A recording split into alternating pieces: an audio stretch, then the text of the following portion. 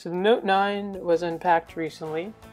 It's the new super powerful Note. Um, so it will officially be released and available to buy in stores near you on the 24th of August. So what's new? The Note 9 has a 6.4 inch display. The fingerprint scanner has been moved down below the camera, which is a lot better compared to the Note 8, which has the fingerprint scanner next to the camera, which is harder to reach. As usual, Samsung has their headphone jack, USB Type-C, and the S Pen. Um, and we'll talk about the S Pen later. It has been improved a lot more and has a lot more uh, capabilities.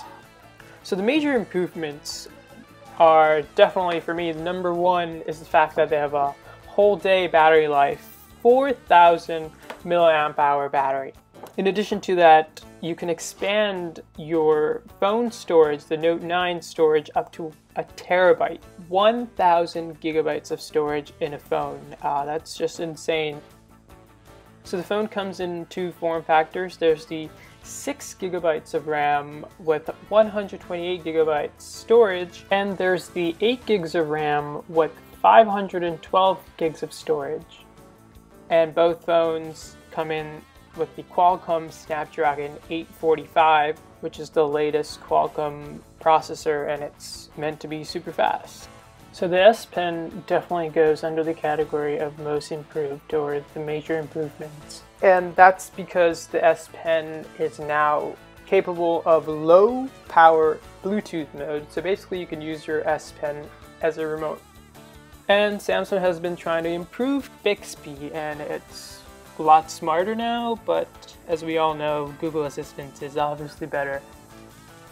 Furthermore, the camera has been improved, and as we all know, Samsung always has great cameras, but this time around they are adding a lot more smart features. So they're adding, you know, there are AI improvements to the camera. So it will automatically um, improve your photos right off the bat. So how much of an improvement is the Note 9 compared to the Note 8? Um, in short, not much. It definitely has a bigger battery, which is nice, um, a lot more storage. So those are essentially the main factors that go into the main improvements. Um, a faster processor, the S Pen has a lot more capabilities, but other than that, the Note 8 and Note 9 are relatively the same.